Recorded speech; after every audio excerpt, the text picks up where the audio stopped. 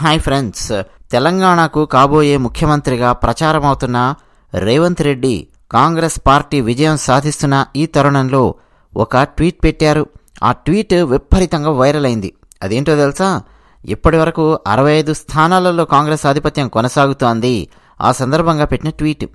అగ్ని కీలల్లో ఆహుతవుతూ తెలంగాణ ఆకాంక్షలను ఆకాశమంత ఎత్తున నిలిపిన అమరులకు జోహార్లు శ్రీకాంతాచారి వర్ధంతి సందర్భంగా నివాళి అర్పిస్తూ అమరుల ఆశయాలు నాలుగు కోట్ల మంది ప్రజల ఆకాంక్షలు ఫలించే సమయం ఆసన్నమైంది. Hash tag Srikantachari hash tag Telangana hash tag martyr. ఇదన్నమాట. మొత్తానికి రేవంత్ రెడ్డి అండి కరెక్ట్గా ఒక టైమ్లీ ట్వీట్ అనమాట ఆయన పెట్టింది.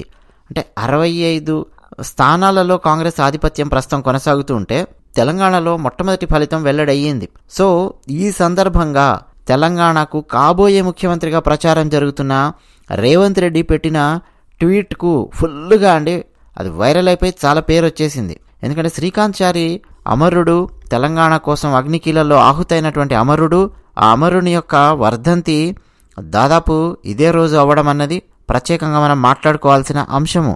వారం రోజుల క్రితం నుంచి కూడా రేవంత్ రెడ్డి గుర్తు చేస్తూ ఉన్నారు. శ్రీకాంత్ చారి అమరుడయ్యాడు ఆ రోజు.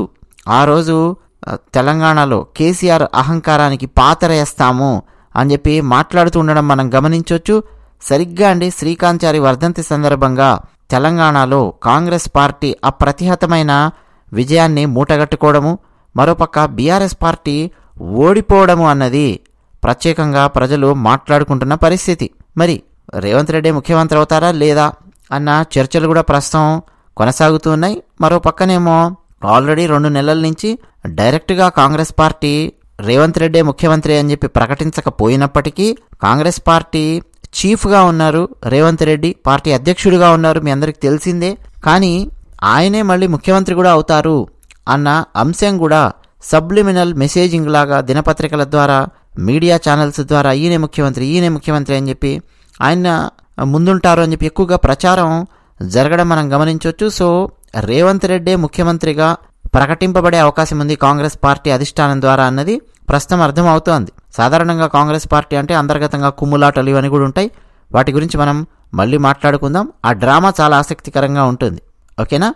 ధన్యవాదాలు.